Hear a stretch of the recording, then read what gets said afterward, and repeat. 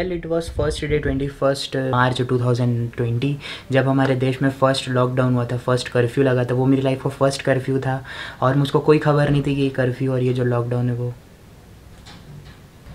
So I had no idea on that day कि ये curfew इतना ज़्यादा लंबा चलने लगेगा। और आज मेरे ख्याल से एक महीना कंप्लीट होने वाला है टुडे इज़ ट्वेंटी अप्रैल 2020 और लगभग आज ही के एक दिन बाद मतलब ट्वेंटी फ़र्स्ट मार्च 2020 को फ़र्स्ट कर्फ्यू लगा था, जिस दिन हमको प्रधानमंत्री ने बोला था कि हम अप्रिशिएट करें कि जो हमारे डॉक्टर्स हैं, जो हमारे पुलिसमैन्स हैं, जो हमारी नर्सेज हैं, जो हमारे स्वीपर्स हैं, जो हमारे लिए अभी भी काम कर रहे हैं, इस इतने पेंडेमिक के समय भी हम लोगों के लिए वो अपनी जान पर खेल के काम कर रहे हैं। तो लोगों को एज अप्रिसिएशन हम लोगों को बोला गया था कि हम उनके लिए थालियाँ बजाएँ या फिर घंटी बजाएँ या शंख बजाएँ या कुछ भी बजाएँ।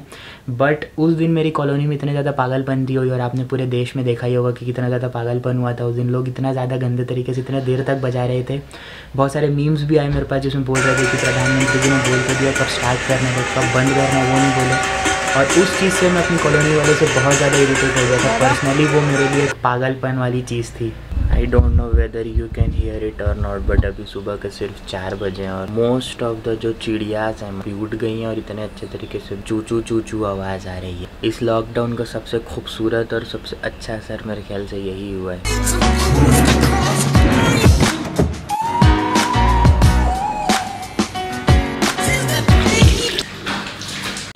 Well if you ask me कि मैं कैसा हूँ am the combination of both introvert and extrovert because मुझको कभी भी हेजिटेशन नहीं होती यदि मुझको किसी से पर्सनल रिलेशनशिप बनाना है रिगार्डिंग बिज़नेस बट मैं अपने आप को इंट्रोवर्ट इसलिए बोल रहा हूँ क्योंकि मुझको अच्छा नहीं लगता यदि कोई मेरी लाइफ पर बहुत ज़्यादा इंटरफियर करता है, कोई नया आदमी। बट जो मेरे पुराने दोस्त लोग हैं, जो अनुग्रह है, जो मुकेश है, जो नीतीश है, जो आदित्य है, जो अरिजीत है, ये सब जो मेरे खास मेरे भाई लोग हैं, इन लोगों के साथ मुझको टाइम स्पेंड करना बहुत ज़्यादा पसंद है। India I am missing them badly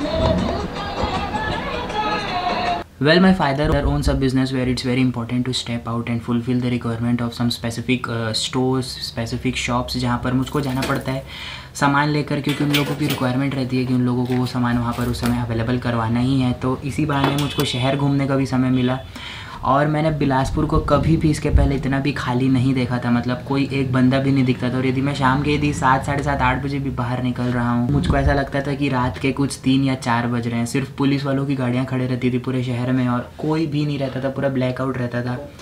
And which was a very good thing कि हम लोगों ने इस लॉकडाउन को बहुत ज़्यादा सीरियसली लिया और इसको अच्छे तरीके से फॉलो किया। और बिलासपुर में मेरे ख्याल से अभी इसकी डेट है थर्टी अप्रैल 2020 और आज की डेट में शायद 16 या 17 एक्टिव केसेस है जिन लोग सस्पेक्टेड हैं बट कोरोना पॉजिटिव केस मेरे मेरे ख्याल से एक भी नहीं है। Well most of the thing in this earth are considered as a two sided मतलब ब्लैक साइड होता है और एक वाइट साइड होता है। तो इन दिस केस भी यही सेम केस है। यहाँ पर जो कोरोना और जो इतना कोविड नाइन्टीन का इतना ज़्यादा जो कहर बरसा हुआ है, इसमें ऐसा हो रहा है कि yes we do have a running business my father have a running business still he is running his business but not with that pace जो कि उस समय चला करता था, जिसके कारण मैं बहुत ज़्यादा बिज़ी रहता था और मेरा खुद का जो बिज़नेस था, मैं उसके कारण भी जो बहुत ज़्यादा बिज़ी रहता था। अभी बहुत सारी चीज़ों के कारण वो दोनों चीज़ें तो जो हैं, वो बहुत ज़्यादा स्लो डाउन हो गई। Yes still they are running not my business but पापा का बिज़नेस जो है, वो भी रनिंग कंडीशन में है तो मुझको समय उतना ज़्यादा नहीं मिलता, इसलिए मैं उतना ज़्यादा व्लॉग्स अपलोड नहीं कर रहा था। But at the same time वो जो पेस है, वो कम हो गई है। तो जहाँ पर यदि हमारे कोई पचास ऑर्डर जाया करते थे तो सिर्फ़ वो दस या बारह ऑर्डर जा रहे हैं। मेरे पास बहुत ज़्यादा मतलब ऐसा खाली फोकट का टाइम आजकल रहता है क्यों? जो बोलूँ भाई। मैंने जो उस खाली फोकट टाइम में जो मैंने किया था, उस चीज़ों को मैंने बहुत अच्छे तरीके से यूटिलाइज़ करा। मैं अभी एक नई लैंग्वेज सीख रहा हूँ स्पेनिश सीख रहा हूँ मैं अभी यूट्यूब के थ्रू और मैंने अपने पुराने ड्रॉज खोले, जो कि मैंने सालों से कभी बंद कर कर रखे हुए थे। पुराने में बचपन में बहुत ज़्यादा जिद्दी और बहुत ज़्यादा खड़ूस बच्चा हुआ करता था।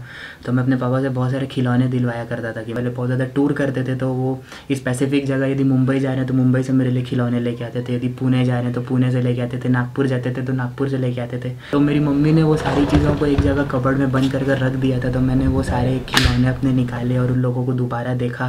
सारे टूटे फूटे कंडीशन नहीं थे, क्योंकि मैं बहुत उद्यमी बच्चा भी था, बचपन में सारे खिलौने तोड़ दिया करता था। और कभी रिपेयर नहीं करता था, मैं बच्चा नहीं था जो कि मतलब चीज़ों को तोड़ के दोबारा रिपेयर करे, मैं तोड़ के नया ख़रीदने वाला बच्चा था। तो मैंने उस चीज़ों को खोला, देखा, सब मेरे पुराने टूटे खिलौने दिखे, मेरे मैंने अपनी यादें ताज़ा करी। और उसके बाद जब आईपीएल का जब स्टार्टिंग स्टार्टिंग स्टार्टिंग का था तो मेरे को आईपीएल के जो कार्ड्स होते थे, वो सारे मतलब कलेक्ट करना और उन लोगों को रखना बहुत ज़्यादा पसंद था तो मुझको एक पूरी गड्डी मिली आईपीएल कार्ड्स की। ऑस्टेलजिया वाला फील आ रहा था मेरे को। वेल यदि बात अभी गुड और बैठ की छिड़ी गई है। एक और हुई थी नौ तारीख को, जो नौ बजे पर प्रधानमंत्री जी ने बोला था हमको कि हम लोग दिया जलाएँ just to feel happy from inside अच्छा फील करने के लिए और लिटअप करने के लिए, जो बिजली का बहुत ज़्यादा कंजम्पशन हो रहा है। ऑल आर इन होम्स बहुत ज़्यादा यूज़ हो रहा है बिजली का तो उसकी भी थोड़ी बहुत कटौती हो जाती है। तो लोग उस दिन, मैंने देखा कि फटाके फोड़ रहे हैं, लोग रॉकेट छोड़ रहे हैं, वो सारी चीज़ें हुई। मैंने रिकॉर्ड भी किया वो सब चीज़ों को शायद में भी। लोग सिर्फ़ या तो सही चीज़ देखते हैं या तो फिर कुछ गलत चीज़ देखते हैं उस चीज़ को जज करने के लिए। बट फॉर मी जिन लोगों को मैंने आज तक पढ़ा है या फिर मैंने उन लोगों के बारे में यूट्यूब में देखा है तो वो लोग हमेशा मुझको एक बात सिखाए फॉर एग्ज़ाम्पल निखिल एंड केसी नेस्टेड की things are not always black और not always white they are sometimes grey also जैसे कि ये कोविड नाइन्टीन और ये जो पैंडेमिक इतना ज़्यादा फैला हुआ है, ये हम लोग यदि इसको देखा जाए तो ये बहुत ज़्यादा ग्रे है, ये वाइट या ब्लैक नहीं है। ये दोनों का कॉम्बिनेशन है, ये ग्रे चीज़ है। एग्ज़ाम्पल मैं आप लोगों को बताता हूँ कि despite of being an introvert person बहुत सारे लोग ऐसे हैं मेरे दोस्तों में जो कि बाहर जाने के लिए बहुत ज़्यादा आतुर हैं, बहुत ज़्यादा उन लोगों को घर पर एकदम हाउस अरेस्ट टाइप का लग रहा है। But at the same time यदि अपन अपनी मदर नेचर को देखें मैंने रात को तीन तीन बजे से चिड़िया की आवाज़ सुनी है। जितनी भी बड़ी या छोटी इंडस्ट्रीज़ थी, जितने भी छोटे या बड़े बिजनेसेस थे, उन लोगों को बहुत ज़्यादा इफ़ेक्ट पड़ा है। Most of them have been close due to this इतना ज़्यादा लंबा लॉकडाउन के कारण ज़्यादातर जो बिजनेसेस हैं, वो सारे बंद हो चुके हैं और वो अब शायद रनिंग कंडीशन में कभी नहीं आ पाएँगे। बट यदि आप एट द सेम टाइम देखें कि जो अर्थ के जो वाइब्रेशंस हैं और जो बाकी चीज़ें हैं, उन लोग कितने ज़्यादा कम हो गए बहुत सारी स्टडीज़ आप लोगों ने यूट्यूब में देखी होगी, जो कि बोल रही हैं कि जो भी अर्थ के वाइब्रेशंस हैं और जो बाकी सारी चीज़ें हैं, वो बहुत ज़्यादा कम हो गई है। येस यदि अपन चीज़ों को देखें देखें तो they are not always black और white they are always grey this is what I feel and yes at the end I just want to say enjoy this time as much as you can इतना ज़्यादा Netflix जो आजकल हो रहा है, और इतना ज़्यादा जो मम्मी के हाथ के अच्छे अच्छे खाने खाने को मिल रहे हैं, और अपन यदि दो दो तीन तीन बजे तक यदि सोकर भी उठते हैं तो कोई घर वाला कुछ कुछ बोलता नहीं है। तो आई एम श्योर कि ये सारी चीज़ें हम लोग बहुत ज़्यादा मिस करने वाले हैं। जब ये लॉकडाउन एक बार ख़त्म हो जाएगा तो so enjoy this period as much as you can and stay positive stay home stay safe और नेगेटिविटी से बहुत ज़्यादा अपने को दूर रहने की ज़रूरत है, जो कि आजकल इंडियन मीडिया इतनी ज़्यादा फैला रही है, हमारे हाउसेज है जो हमारे इंडियन मीडिया के, वो बहुत ज़्यादा जो नेगेटिविटी फैला रहे हैं। I feel like everything is going to be all right very soon with that